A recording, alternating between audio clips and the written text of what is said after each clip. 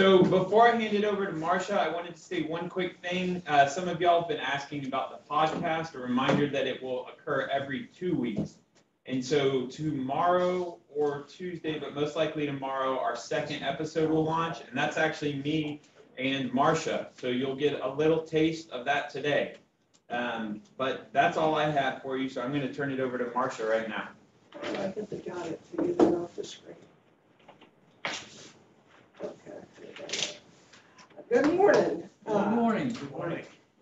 I kind of feel like I have to here and look at y'all, I'm gonna have my head on a Just swivel. pages if you want. I'll get it. Okay. Um, so this was probably the biggest challenge I've had in, in teaching, and so I dumped it all on you, if you've seen the notes. Um, let's start with a, a quick prayer. I forgot to write that down for y'all, but let's go to the Lord anyway. Heavenly Father, we thank you for your majesty. We thank you for just the way that you have spoken to your people through the ages. Help us now to understand a little bit more about you through these ancient words that you gave to your people, the Israelites. We want to know you better. And so open our minds and hearts to hear your word. we pray in Jesus' name. Amen. Okay. Put on your track shoes. Here we go. So the Pentateuch is actually uh, five books, and Leviticus is in the middle of it. Leviticus is heavily um, tilted toward worship, and it may be trying to, uh, just by placement, say something about where worship should be in our life, central in our life. It's also a summons to righteousness, holiness, and justice. Uh, we get so bogged down in all the worship stuff that, that we sometimes miss the, um, the very important distinctions that have to do with justice for all people, that have to do with care for the earth. We'll talk about that later.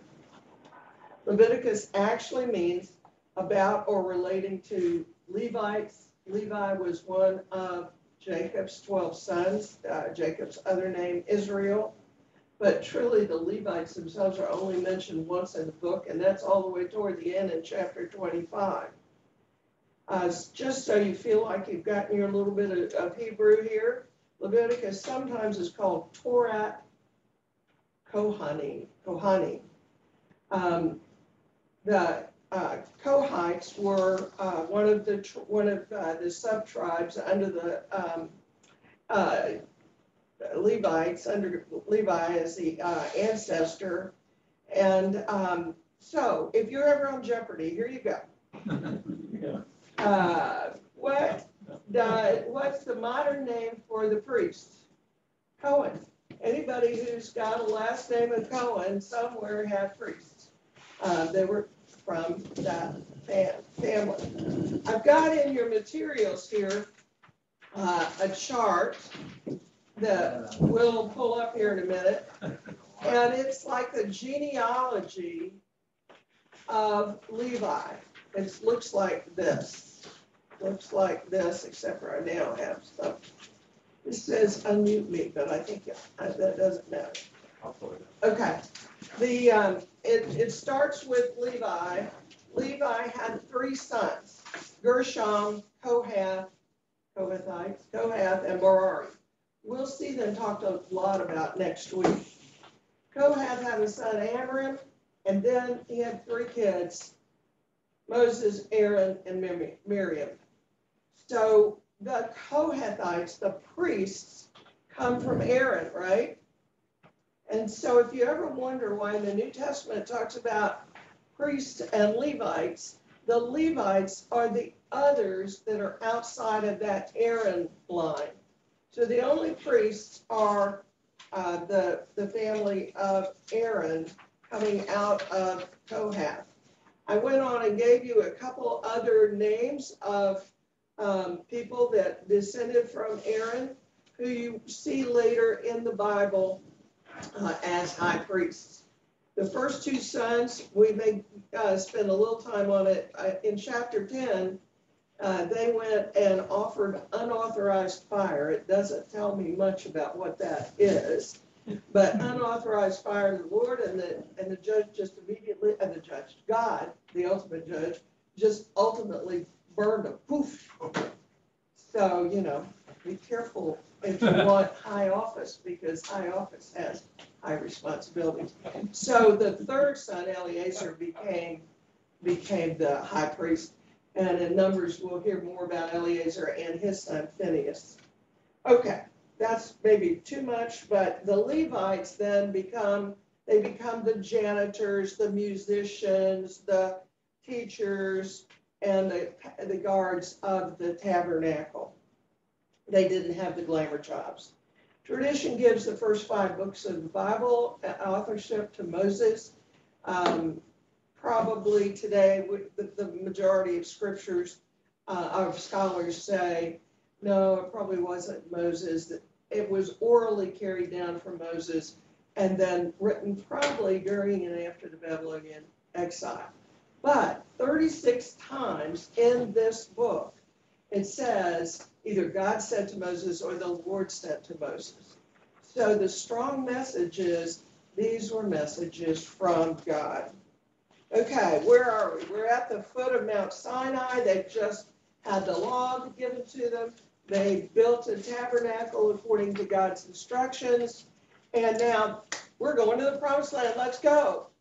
It's kind of like when you you have your kids in there wanting, you're getting ready for vacation. Let's go. And then, wait a minute, God says, you need to know how to live. I got some instructions for you. And so he starts. The main theme here is in chapter 19, verse 2. He says, You must be holy because I, the Lord your God, am holy. His underlying presence is He's there in the tabernacle, which is right in the middle of the people. And I've already got some of next week's handouts for you, and I'll show you how they camped around the tabernacle. He literally was in the center of the people. And when they moved, he was in the center of the march. I have another handout for you on how they lined up for the march. So, so we're talking about at all times, Israelites are to preserve, protect, and care for the tabernacle. That's where God lived in their midst. You know, they had, because of that visible tabernacle, a constant presence of God being with them. We're told that God's Spirit lives in us. And maybe if we thought about that more, we might do fewer of the things that we do or more of the things we don't do. But that presence is a little harder to uh, recognize because we don't see it.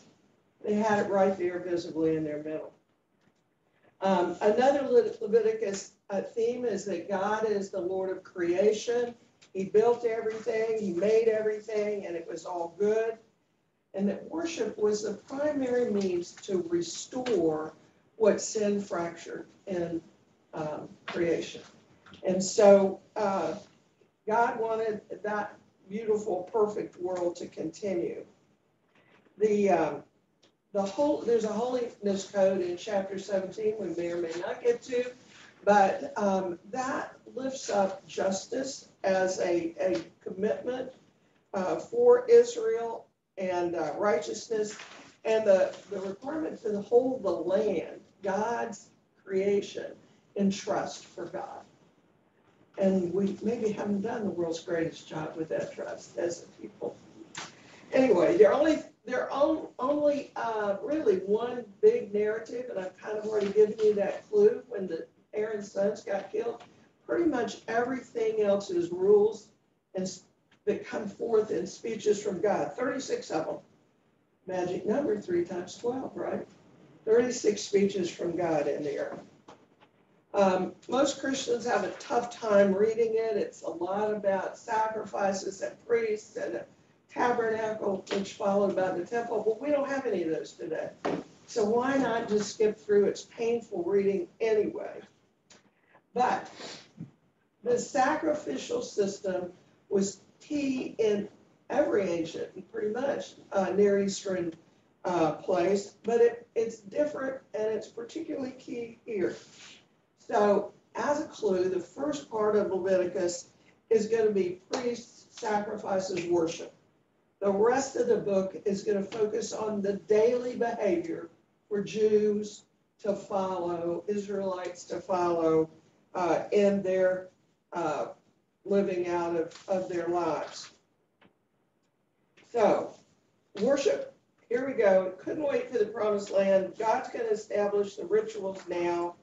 Uh, and if we look at Leviticus, now I've got another handy dandy chart. Uh, looks like this. We'll put it on the screen.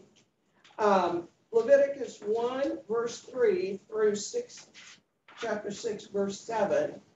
You'll see five major offerings. And um, these chapters deal with the offerings from the side of the donor. And then you go, and, and those, you're, at least for me, I shouldn't put me onto you. But at least for me, my eyes, start- as I read it, my eyes start rolling back and I'm kind of, what in the world? But um, th- then, if that's not bad enough, you get to chapters seven and eight, uh, the rest of six and seven, and those are pretty much the same rituals from the viewpoint of the priest. So if you start wading in and you think, wait a minute, I just read something like that, that's, that's what's happening. Um, I'm not gonna spend a lot more time, I've given you my handy dandy chart on the specifics. But one of the things that has struck me is the first three offerings, the burnt offering, the cereal offering, and the peace or fellowship offering, which is also als- often called, oh, here we go, the well-being peace or fellowship offering. Um, those three were voluntary offerings. Now, one of the things I'm, I'm, I'm reluctant to confess is, that hit me through this, is, you know, we think, let's just say, I think I'm doing good when I give a tithe to the church, right? That's what I'm supposed to do. Well, they were required to give a tithe, that's just kind of off the top, out of, you know, the one tenth, and that's what kept the sanctuary and the priests and the Levites, that was their compensation, that's kind of what we pay. But these first three offerings were voluntary offerings that were to be giving, given above and beyond that. So when we think we're doing good by giving the tithe, we're doing kind of what's necessary to keep the place running. These were given not out of duty, they were voluntary. People gave them out of love and gratefulness for God. There are times when, like with the burnt offering, pretty much the whole thing was burned up, uh, except the hide, which went to the priest. There were others which the best part went to God, and then uh, the well-being offering, and then they had like a big party. And the worshiper and uh, the worshiper's family and friends and the priest all had a big dinner out in the courtyard of the tabernacle. But you've got to think about these being subsistence kind of people.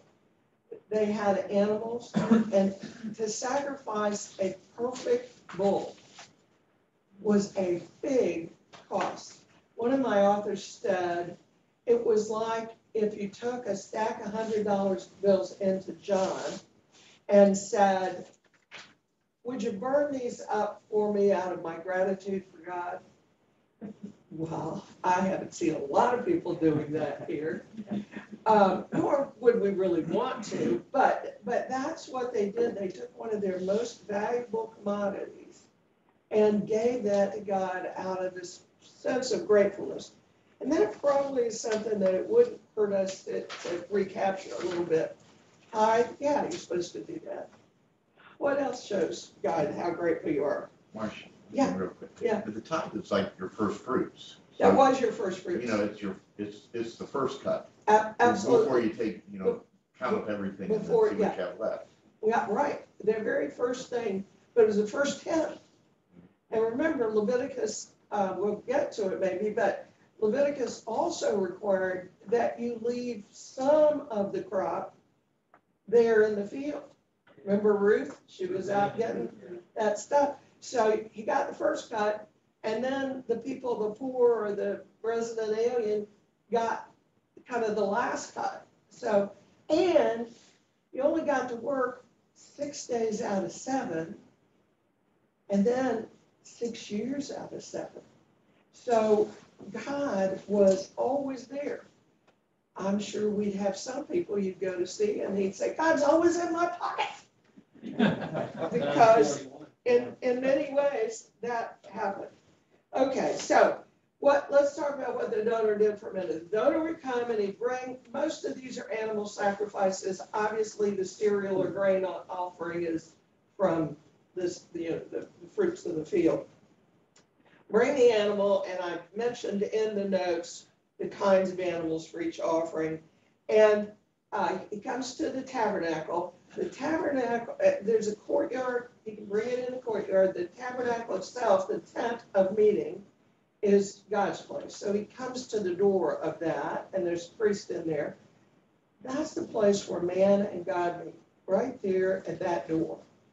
And he comes and he brings the animal, and he put, he, because we're talking guys here. He puts his hands on the uh, forehead of the animal, and that was this, you know, a symbol of transferring your sins to the animal. Probably your family gets counted in there, and then he slaughters the animal. Yeah, Hey, Marcia, just a question. Uh, in, we know in the Hellenistic world, when the- the village had a, a sacrifice, it was a feast for the entire village. Yeah. That it wasn't just, uh, uh, located in the temple, but uh, you know that there's a sacrifice coming up and your family, as every family in the village, is part. going to have part of it. Uh, and, and so it's a combination of religious plus civic celebration. Um, in your research, uh, is that motif also found here in Leviticus, that it's a community celebration? None of these, no. Yeah, because I don't Because recall that, the closest you get is a sacrifice of well-being, where, uh, because burnt offering's completely burned up. And we'll get to the, the two mandatory ones, but, Yeah. uh, the, the, the sacrifice of well-being, the, sa- the worshiper, their family, and maybe a few friends, and the priest would eat together in the courtyard Yeah, after that. But that's very different from what you're yeah, it's very describing. different. Yeah, Uh, no. but, but their sacrifices, God intended for them to be different than the, the people around them. Yeah. Now, uh, but did the priest and, uh, those that were working in the temple, didn't they benefit from these sacrifices? Some, of- yes, we'll get to that. Certainly, and I've got this in my notes, We, we'd spend forever going chapter and verse through these, that's why I made my little grid. The cereal offering, the, God got the first part and the priest got the rest. Yeah. So you have different levels of offerings and different benefits. Um, but I'm gonna, uh, anyway, let me finish real quick. That, he put his hands on the animal's head, transferred his sin to the animal. Then the worshiper, not the priest, I didn't realize that until I got into this, was the one that killed the animal. Slit his throat. Um, and saved the blood. He takes the blood, which God says in Leviticus, blood is life. It's the animating fact force of life. Takes the blood to the priest, who puts it on the sacrifice altar. Um, but it brought home to the worshiper how precious life is. We don't, and one of my books is funny, we don't see animals sacrificed. We go to Publix. Right. And we buy them shrink wrap and, you know, whatever. Um, so, to. they always, I was gonna say, they always knew the preciousness of life. We give thanks to Publix or if we're lucky Bern's. But they, they had a completely different view, and I think most people raised on farms, I'm seeing the lane there, maybe, and most people raised on farms have that closer affinity with life. The animal's facing toward the temple, toward God, when he slits its throat. Um, after that, the donor has to skin and quarter the animal, wash off the legs and the entrails, all impurities come off, and only then does he give it to the priest, who has stoked the fire and is ready to burn it. So I'm going to skip over to the two mandatory offerings.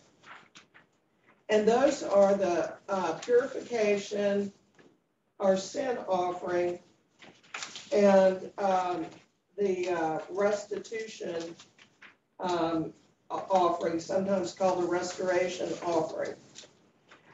Sin was never casually treated by God. Our, our society treats them kind of casually. But it was never, never treated um, casually by God. Leviticus believes that sin was so serious, it was like a, a virus or an acid that spread through society. It was not just my sin and I deal with it. Um, we have such an individualistic society. It's kind of gotten more that way since COVID, right? But um, for them, when sin would taint everything. And a lot of times when you stop and think about it, when you do something wrong, it's not just about you because other people are affected. I think girls always grew up with that uh, game of gossip. And you start one gossip and the rumor goes around and a lot of people are badly hurt. Look at the internet right now. So, so our actions do affect others, but sometimes we forget about it. Um, with um, the Jewish people, they, they were very aware that sin tainted everything around it, even the tabernacle. One author I read said, life without consciousness of sin's burden is pointless narcissism. Narcissism, I have a word problem with that, posing as success and happiness. And we look at, I'm not gonna pick on your football players, but, but athletes, uh, movie stars, you know, sin is something they, you know, so, I don't know about the, the football players, but I know that there is a culture where sin is, sin is, is, uh, you know, it, it's my problem, it's not anybody else's. And it poses as a, as a culture of success and happiness. Okay, but sin's corruption moves on to others, and it polluted the tabernacle. So when my sin offering is offered for my sin, the blood of purification from the animal that's sacrificed is put on the sides of the altar of sacrifice to purify what my sin has done to the community and even the tabernacle. If it was the whole community or the high priest who sinned, the high priest can go into the holy place. So it pollutes the holy place also. And so they go in and sprinkle blood, that blood seven times on the altar of incense, that's different from the altar of sacrifice, altar of sacrifice in the courtyard, altar of incense in the holy place, and also on the veil between the Holy of Holies and the holy place. And if it is unrepentant sin, the only possibility is Yom Kippur, uh, the Day of Atonement, where the blood is put on the ark. Okay, so these, uh, these chapters, uh, I hope that helps you if you decide to wade through them. You can look at the chart, or you can say, oh, I've got the chart, I don't need to read those, we'll move on. I'm not giving permission, coach. Um, Okay, chapters eight and nine, as I say, very similar, but they're doing the same sacrifices from the priest's viewpoint. What do the priests have to do? Then we go to the ordination of Moses, and uh, Moses ordains Aaron and his sons. I'm not going to get too much onto that. Some of the same things happen, but interestingly, after they're ordained, um, Aaron and his sons are told they have to stay in the temple, there at the, you know, right there at the door, uh, for seven days. Well, one of my books suggested that that's, uh, kind of like, well, if they'd gone outside, they would have gotten unclean, you know, very quickly. But one of the things I liked was it's a picture of creation. Seven days for creation. God is starting a whole new thing. This whole worship, this whole priesthood, this is a new way to be with God. Marcia, which sheet are you on now? I am just flipping over to 10 in. Yeah, we're, we're blasting through this thing.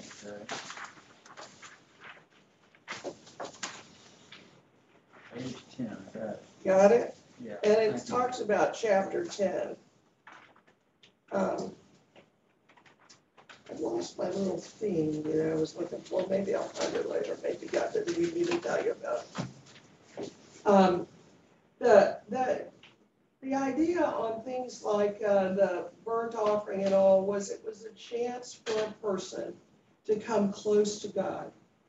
So let's say you've been feeling like you're in kind of a spiritual wilderness for a while, so you go offer a bull. And that smoke is something that's a pleasing aroma to God, and this allows you, me to come close to God. So I think the word was kashrut, is that right? Something like that? Okay, well, it's in my notes somewhere, you'll find it. And it means you want to come close to God. Okay, we've just gotten Aaron and his sons Remember, there are four of them, because you've got the chart, so you know all these things. Gotten them all ordained, and it looks like things are going pretty well. Well, within a gnat's eyelash of time, Aaron's oldest two sons, see, they've been changed by this ritual from being ordinary people to holy people. What does holy mean? Set apart. So they've been set apart. Well, what happens to some of us when we start to think we're a big deal? Well, we're Special privilege. we, yeah, I, I'm, I'm such a big deal. I'm stuff, you know, blankety blank, you know. Well, sometimes it goes to your head and you think you're a bigger deal than you really are. Aaron's two oldest sons, a fellow named Nadab and um, his other one was named Abihu. And this is chapter 10 right after they're ordained, they think this is cool. I can go places regular people can't because I'm holy now. And so they go in and they offer unauthorized fire to the Lord. Doesn't tell you what unauthorized fire is, and it doesn't tell you whether, I always thought they went into the Holy of Holies, but it doesn't tell you that. It just said they did something God didn't authorize them to do. But it was fire. So what happened to them? Fire for fire. God immediately blessed them with God's fire. And they were dead. Moses called them two of his uh, brothers or uncles' um, kids, Mishael and Eliphan, Elzaphan, and he said, haul them out by their tunics. Because if you touch the dead body, what would happen? You'd be unclean. So now, if they'd been in the Holy of Holies, I don't know how they would have hauled them out. So maybe they were just in the holy place. But haul them out and um, take them outside of the camp and burn them. And he says, this is the toughest part to Aaron and his brothers, you cannot mourn them. They kind of got what they deserved. It doesn't say that in Leviticus, but I, that's the implication I draw. He says the rest of the community, the rest of the people can mourn them, but you can't. And then he gives them some rules about every time you go into the tabernacle, you've gotta comb your hair, you gotta get cleaned up and look good. We don't worry so much about that, uh, those of us that go to Connection anyway.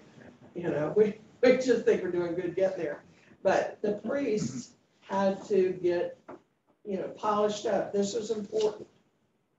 Um, and, uh, and so, all right, we figured out that what God is thinking is these little things about who offers what, when, and how, all this minutia is important.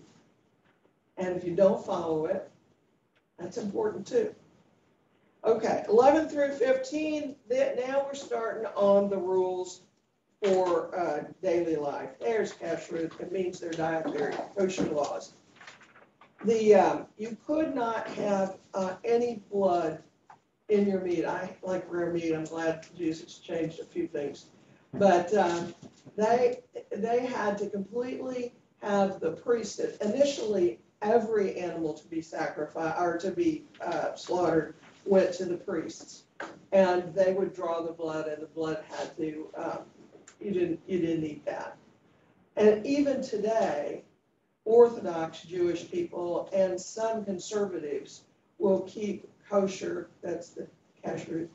Um, and, uh, will go and have, there's a whole cadre of priests, rabbis, who will, um, sacrifice, slaughter the animals, take the blood. And so if you go to a, a kosher deli, this, um, very particular ritual has been followed for all the food that you get there. I once had a client that was um, uh, Orthodox. We had a dickens of a time when we come down for depositions or something, finding places for him to stay and food for him to eat. Because we don't have a lot of that here. He's from Brooklyn and they have plenty of it. Anyway, reading through those four chapters will give you an idea of how much God cared about every aspect of his people's life. And I don't think that's changed. It's not like there are parts of our lives that are too boring for him and he doesn't care. He still cares about every aspect of our lives. And this nit and detail in all these laws, while boring to look at, strikes home that proposition. Chapter sixteen is about the Day of Atonement, Yom Kippur. I blessed you by not giving you everything I know about Yom Kippur. We, we went through it in some detail in Hebrews. And uh, so it is a- the highest holy day in the Jewish faith. It is a day of self-denial, fasting, and repentance. You get to 17, and that's the holiness code. And what God was trying to say is there really should be no distinction in your mind between work and worship. You don't put on the good you to go to worship and then be the real you the rest of the time. It matters all, he matters all the time.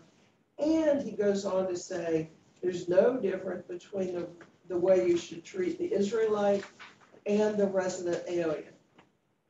You mean immigrants? Yeah, immigrants.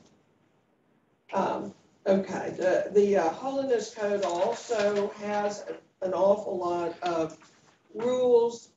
Um, the, uh, you know, the, the animals, you didn't drink the blood, you, your blood was life. Um, and so I, I've gone back to what I've already talked to you about. Eighteen more rules, um, these particularly, uh, setting apart and saying you must be different from the Canaanites and their sexual practices. You have to be a separate, different people. Um, all aspects of life were to be holy. So 12, 19 and 20 look like the Big Ten all over again, the original commandments.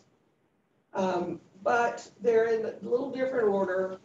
They're a little bit, there are a few more things in there. They're a little bit more specific, but they're challenging people to love each other and to do justice he wants his love to be lived out and demonstrated in this holy community.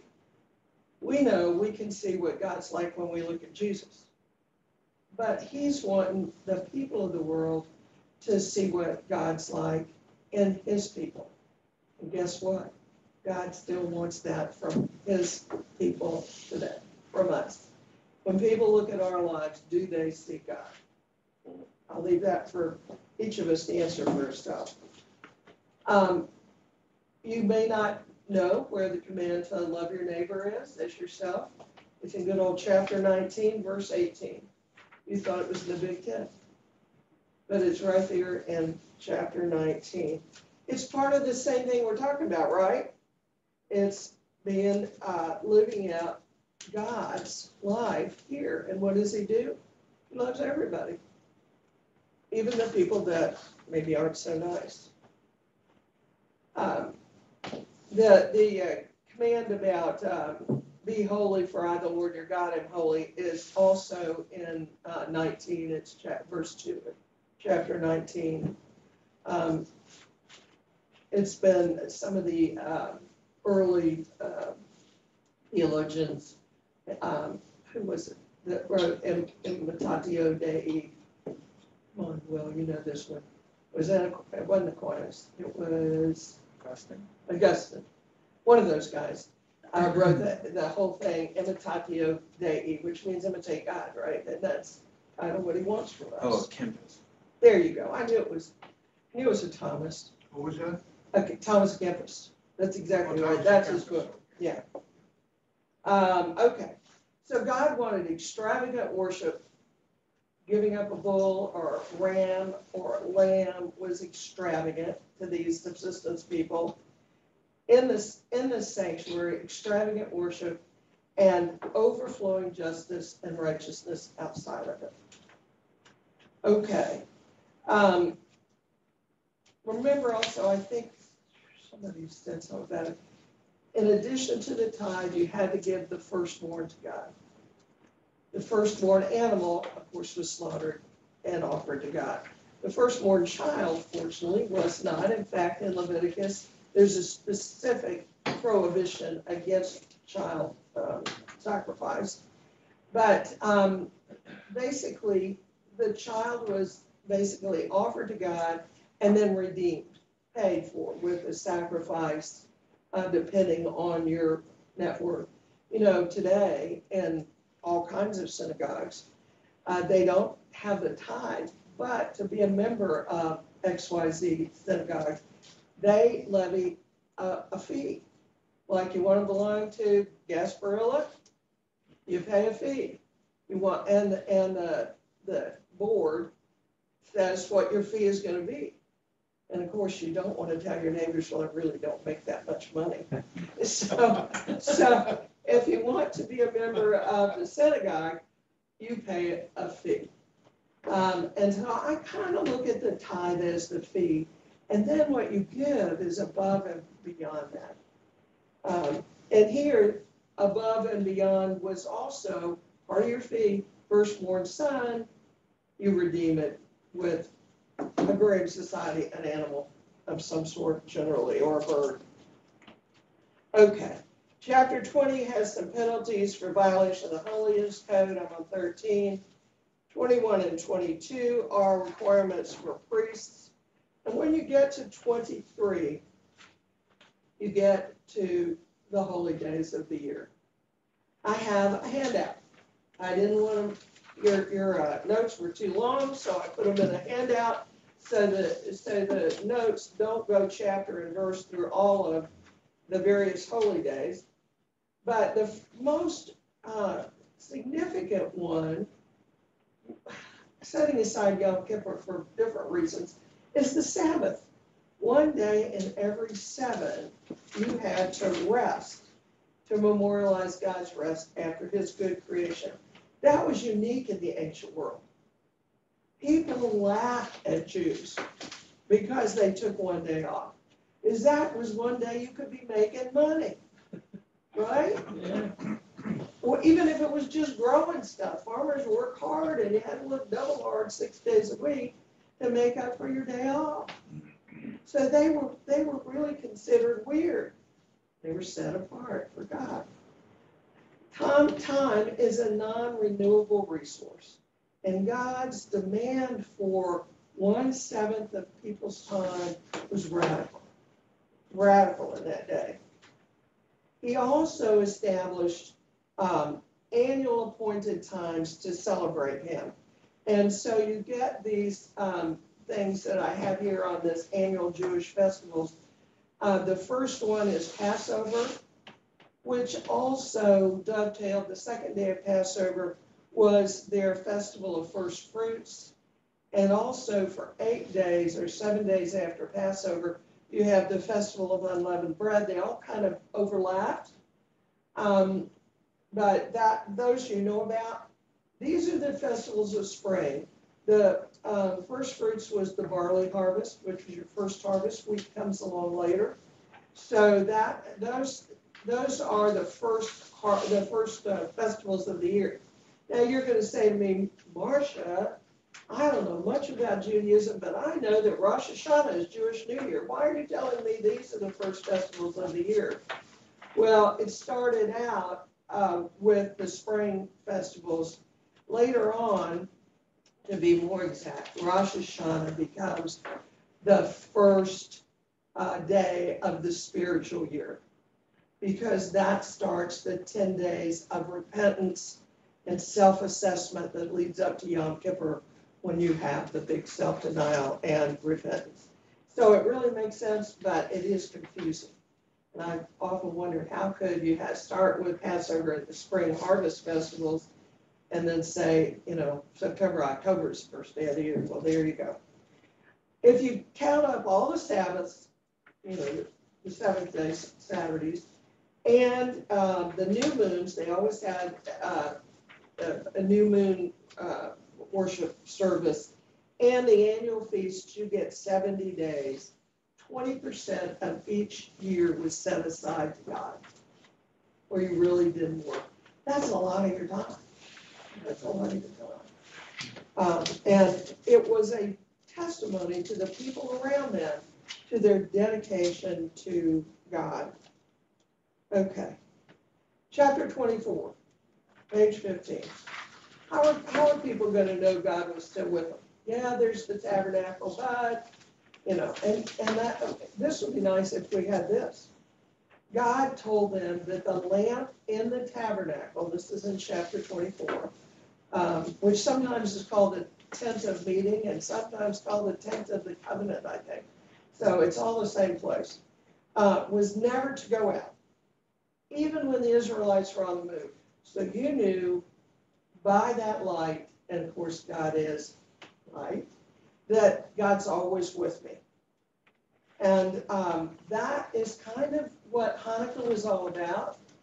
Antiochus Epiphanes, the evil, evil Syrian, had desecrated the temple. Judas Maccabee, and you can read that in First and Second Maccabees, comes in, uh, beats old Antiochus, cleanses the temple, and they go to turn on the lamp. It's a menorah, eight branches. And what happened? There wasn't enough oil, and it was special oil. You had to brew it special, and it took time. They couldn't just do it overnight. There wasn't enough oil for the next eight days. Miraculously, God provided the oil. So that's Hanukkah. Um, the Jewish system of punishment, that's, you get in um, 24, 19, uh, chapter 24, verses 19 through 20, uh, the eye for an eye. That maxim was actually limited punishment. Not most people, and, and you still, whenever you read or see history books, what do they want? Revenge. And it usually escalated. This guy, you know, cuts off your arm, you cut off their head, you know, then they come after your family, then you go after all their village. So God says punishment is to be limited and proportional. In fact, what we saw in, and I forgot to say this, about the restitution offering. You would offer the restitution offering, how much was it gonna be? It was gonna be the value of whatever you took or harmed, plus twenty percent, two times. So if I hit your car, I give you a car plus plus twenty percent of its value. You might be able to actually buy a new car, which is not what you get from insurance. So restitution was plugged into the Jewish code of what is how we live. We, like the, our predecessors, often are about revenge in our heart of hearts. We want the bad guys never to come out of jail. But if, you know, they took, you know, two bucks or, uh, Les Mis, the candlesticks, you know, do we really want retribution? Okay.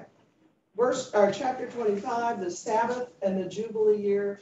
I already mentioned this a little bit. One year and seven, you were not supposed to plow or, or, um, or plant or harvest. If anything came up naturally from what was left over from grain that had maybe fallen on its own, you could take that. But you were not supposed to do anything in terms of growing crops. What does that do for the land?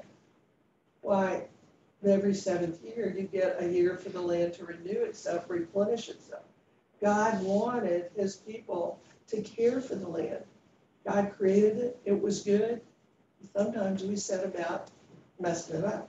And so he built into this, now how much faith does it take for you not to plant for that seventh year? It's kind of like not getting a four oh one K. Yeah.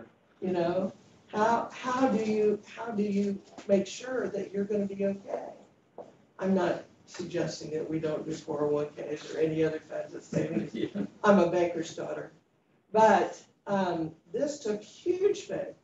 And in fact, I- I- a lot of historians aren't sure they ever really did it, really followed it. But God was giving a principle to them. Take care of the land I gave you. You are a trustee, a steward. And it ain't yours, really. Yeah. Yeah, Marcia, just want to ask you uh, your opinion on all the reading you've done. On uh, verse uh, 22 in chapter 24, you just went over that. Uh, You shall have one standard for stranger and citizen alike, Right, all right? For I am the Lord your God. right. Now, to me, in 2022, that just sounds very advanced Well, its thinking. It's like, wow, this is really progressive and open-minded. You're gonna have one standard for the citizens and those who are strangers. And it speaks of our common humanity, all right? Yet, earlier on in the book, uh, Leviticus goes to great lengths to say, you are holy, you must be apart from all of these other people around you. I, I guess, to me, maybe it's just me, it seems like inherently there's a conflict there, or potential conflict, where on the one hand, I'm supposed to have only one rule for the citizens of Israel, for the strangers that are here, and we are part of God's common creature, creation. But on the other hand, I'm supposed to be separated from all the Canaanites. I, am I missing something? you are supposed to be separated. Well, you're supposed to be separated from the Canaanites. What they're talking about, the, the key word is like resident alien. The people that come to live with them, think Ruth, you know, they come and adopt this land, these people. And so you aren't supposed to treat them different than your brothers and sisters. Um, in fact, in the Passover passages, which you can look over on your own, uh, any resident alien that chooses to observe the Passover must also observe it exactly as called for in the Yeah, book. that, that's our English word stranger, that, Right, that we're but- using in But this. they're talking about the resident alien, Okay, someone well, who that- comes, that's my question. that's my when they question. go, we'll talk in numbers, what, remind me, Greg. There's a distinction they make in Exodus in the Passover dis- directions between the foreigner and the resident alien or the sojourner. And the distinction is the foreigner who's there but not part of you and the resident alien who is. was part of you, and you treat them the same. Yeah, and, and when- when they left Egypt, it said they left with a mixed company. Right, and you'll Yeah. see when we get to numbers, um, there, you have the various tribes going along, and then you kind of have, I'm gonna call them camp followers. And they're in the back. Yeah. Um, and Sure. they're the people that are kind of following along. I would, I would just say, Marcia, from my point of view, it seems like there's a seed here for what Jesus himself then talks about in the sense of he reaches out to the Samaritans, to the outsiders, the ones who are not in the inner group. And Jesus uh, builds on that. Right. That I, that I see as an inner tension there. Well. At this, there's, there's a difference in time and a difference. Right now, he's calling these people to be kind of a light to the world. Yeah. He calls us to be a light to the world too. I'm gonna just finish, the Jubilee year was once in every fifty years. All debts had to be, uh, forgiven, well, that and the Sabbath year also. All slaves had, to all Jewish slaves had to be freed. And any land that had been sold to somebody else goes back to the original tribe and family. I don't know that that was ever followed either, The that's pretty, uh, pretty demanding. Yeah. Um, Marcia, the rabbi say no. yeah, yeah, the, uh, the, for good reason if they said yes. Um, the last chapter, twenty-seven, about vows and oath, is probably an appendix, but that's how you get to thirty-six speeches and, from God, and that's the magic number. Twenty-six, three themes I'd hold up.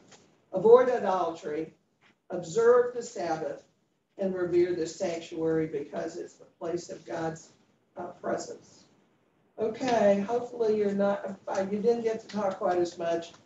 It was a big book and it had a lot of stuff in it.